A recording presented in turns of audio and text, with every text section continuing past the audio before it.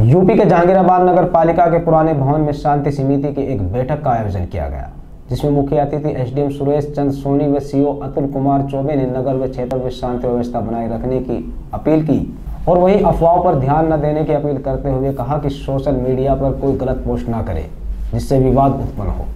तो मीटिंग हुई है किस संबंध में हुई है? ये हमारे अमन अमन चैन जहांगीराबाद का बना रहे और इस तरीके सब लोग खुशहाल बने रहे और शांति बरकरार रखने के लिए हमारी मीटिंग। है साहब, आज तो मीटिंग की जा रही है। किस संबंध में है? आज की मीटिंग की गई कि जो जहांगीराबाद कस्बे के लोग हैं, ये सब आपस में सौहार्द बनाए रखें और इनको सब आपस में बात की गई कि किसी भी प्रकार की अफवाहों पे, किसी भी प्रकार की गलत चीज़ों पे ध्यान न दें और जैसा यहाँ का सौहार्दपूर्ण माहौल बना है, उसे बनाए रखें।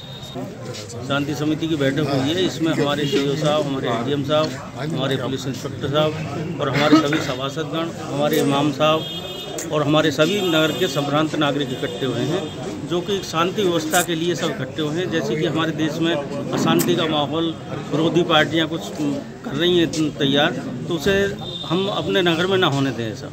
हमारे नगर में शांति व्यवस्था बनी रहे और हमारा नगर हिंदू मुस्लिम एकता की मिसाल रही है, रहेगी। रहती आएगी।